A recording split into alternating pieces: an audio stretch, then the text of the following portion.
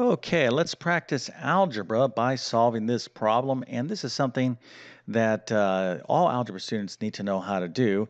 And let's take a look at the problem, and then we're obviously going to solve this here in just one second.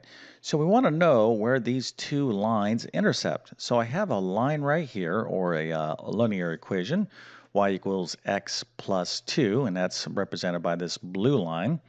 And then we have another line over here, y equals negative x, and that's the yellow line right here. Now, if we kind of look at this uh, graph, we can see that these two lines are going to intersect right around this point right there. Okay, so what is this XY point? This is the problem.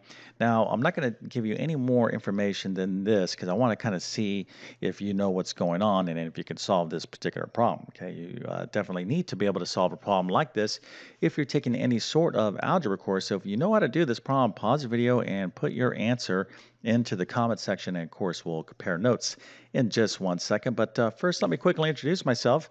My name is John. I'm the founder of TabletClass Math. I'm also a middle and high school math teacher.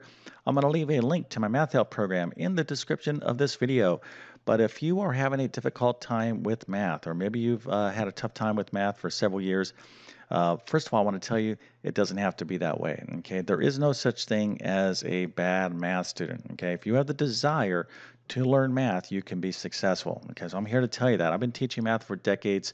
What you need is to uh, get the kind of instruction that breaks things down in very simple, bite sized, clear, and understandable uh, pieces. And that's my teaching style. So if you're at the middle school, high school, or even college level, I can definitely help you out.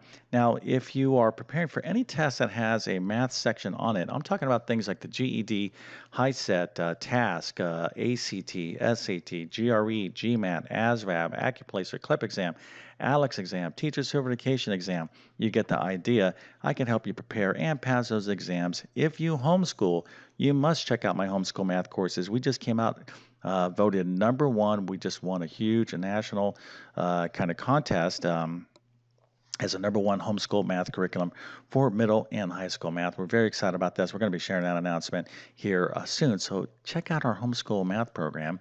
Uh, now, if you don't have any math notes, I'm going to leave links to my math notes in the description of this video.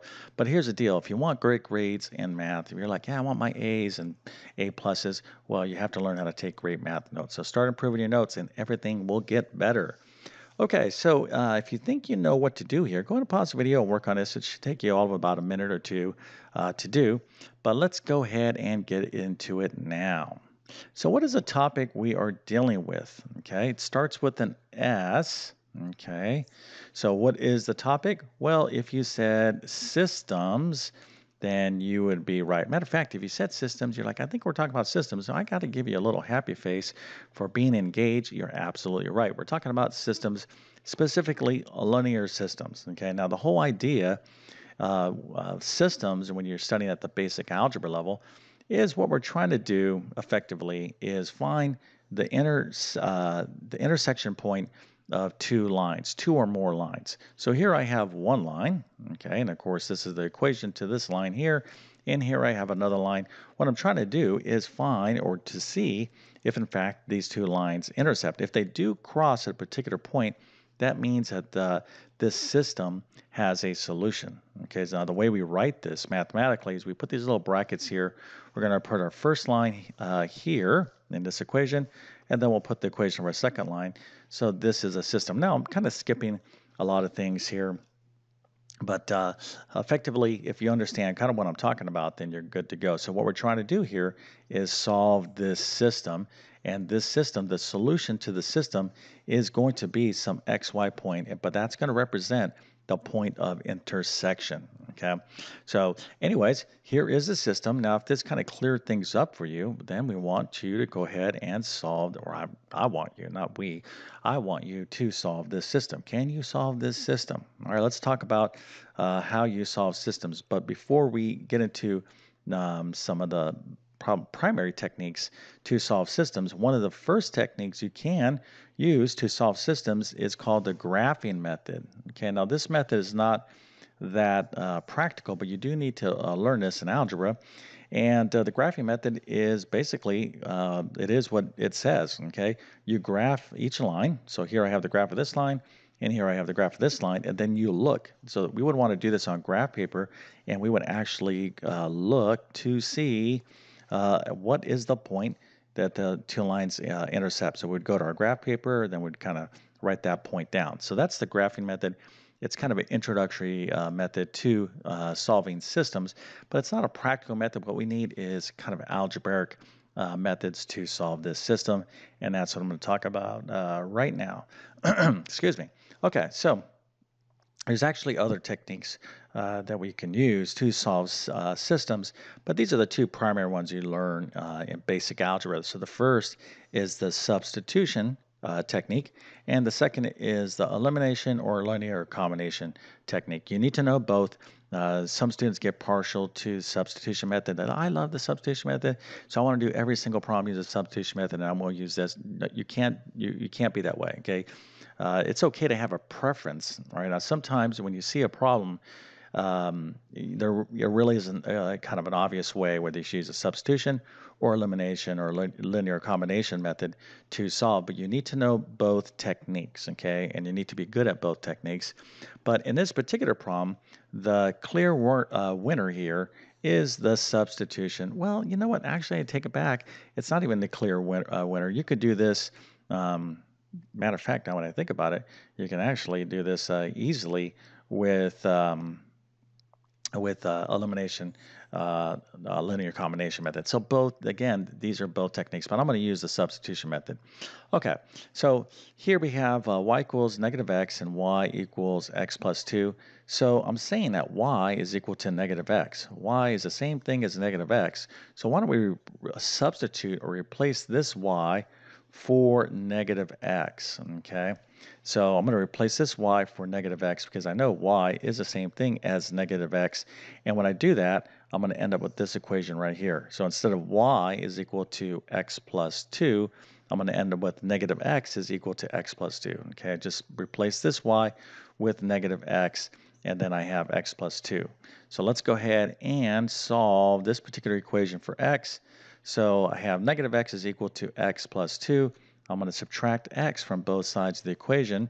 I'm going to get negative 2x is equal to 2 divide both sides of the equation by negative 2, I get x is equal to negative 1. So this is just basic algebra. Uh, hopefully you're able to follow me here. If uh, you're confused about what I'm doing to this, then you need to you know, really rewind and go back to more basic equations. Uh, systems is probably a little bit too advanced for you right now. But anyways, we see here that x is equal to negative 1. Okay, so perfect. So remember, we're looking for this xy point of intersection. We just determined the x uh, part of that problem, that's negative 1. Okay, so now I need to determine the y problem, or the y uh, coordinate of this point. Okay, I already have the x point, the x coordinate, it's negative 1. So remember that y is equal to negative x, and we have y uh, uh equals x plus 2. So I can use either one of these equations to solve for um, uh, y. So I'm going to use this equation. That's super easy. y is equal to negative x. So let's go down here. So I'm going to just pull that equation from the system, y is equal to negative x.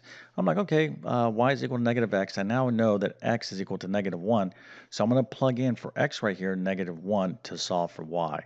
So y is going to be equal to, be careful here because there's negative signs, a negative of a negative 1. Okay, I'm plugging in negative 1 for x. So uh, negative of a negative is a uh, positive, so y is equal to uh, positive 1. So we have x is equal to negative 1, y is equal to positive 1, and this is our xy point. Okay, again, that's the point of intersection, so we're going to represent it as uh, negative 1, 1. Okay, so that is the answer. Well, let's see this graphically. Okay.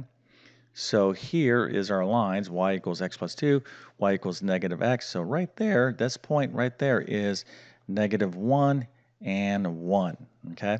Now, how many of you got this right? If you're able to do this right, I don't care what method you use, whether it was the combination, elimination, substitution method, uh, maybe even uh, the graphing method. If you got this right, I must go ahead and give you a nice happy face with the good old 1984 Mohawk an A plus and 100%. Matter of fact, I'm feeling pretty good today despite my crackling voice, but I'm going to throw in a few uh, stars so you can have an extra special day.